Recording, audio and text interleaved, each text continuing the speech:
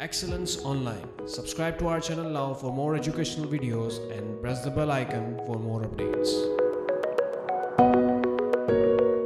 Assalamualaikum. I am Ayla Asir from platform of Academy of Excellence. आज मैं आपको matric physics का chapter number one पढ़ाऊंगी जो कि है introduction to physics So let's start with physics. So what is physics? It comes from Greek word physicos which means natural. Physics में हम सारे नेचुरल फेनोमेनास को डिस्कस करते हैं। It is defined as a science which deals with interaction of matter and energy ऐसी science जो कि matter और एनर्जी के इंटरेक्शन को डिफाइन करती है, उसको हम कहते हैं physics matter is anything that occupy space and has mass branches of physics, there are mainly nine branches of physics that are mechanics, electricity, electromagnetism, solid state physics, atomic physics, nuclear physics plasma physics biophysics and astrophysics सबसे पहले हम number one mechanics को define करेंगे।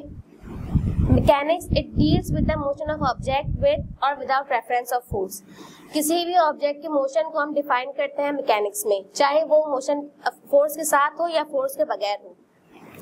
Two electricity it is concern with the phenomenas and affects related to electrical charges किसी भी electrical event में जो भी चार्जेस का फेनोमेना होगा कि को, कोई चार्ज कैटाइन पॉजिटिव की तरफ़ पॉजिटिव चार्ज कैटाइन की तरफ़ जा रहे हैं जो कि कैथोड है और नेगेटिव चार्ज एनाइन जो कि एनोड की तरफ़ जा रहे हैं वो क्यों जा रहे हैं ये सब हम इलेक्ट्रिसिटी में पढ़ेंगे।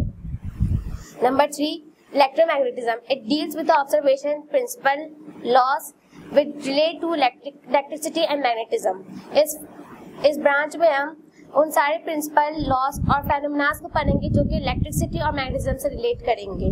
Number four solid state physics it is concern with the structure and properties of solid state solid state का जो भी स्ट्रक्चर होता है उसकी प्रॉपर्टीज़ होती है। उन सबको हम इस फिजिक्स फिजिक्स इस ब्रांच में डिस्कस करते हैं। Number five atomic physics it is concern with the structure and properties of an atom atom में क्या क्या होता है और एटम में ये सब क्यों होता है? इसका फेनोमिना क्या है? इसका स्ट्रक्चर क्या है? ये सब हम एटॉमिक फिजिक्स में पढ़ते हैं। Nuclear physics it is it concern with the structure and properties of reactions of the nuclear of the atom atom के न्यूक्लियस में क्या क्या इवेंट्स हो रहे हैं और क्यों हो रहे हैं, इससे हमें क्या, इससे हमें क्या बेनिफिट्स मिल रहे हैं और कौन कौन से न्यूक्लियर पार्टिकल्स इवॉल्व करते हैं, ये सब हम पढ़ते हैं न्यूक्लियर फिजिक्स में। Plasma physics it deals with the properties of highly ionized atom forming and electrons plasma physics में हम हाईली आयनाइज्ड एटम को स्टडी करते हैं। Biophysics it deals with the application of physical methods and explanation related to biophysics मतलब अगर हम bio मतलब तो हमारी बॉडी होती है। तो हमारी बॉडी में जो जो भी हो रहा है, वो क्यों हो रहा है, उसके पीछे क्या फिजिक्स है, ये सब हम पढ़ते हैं बायोफिजिक्स में।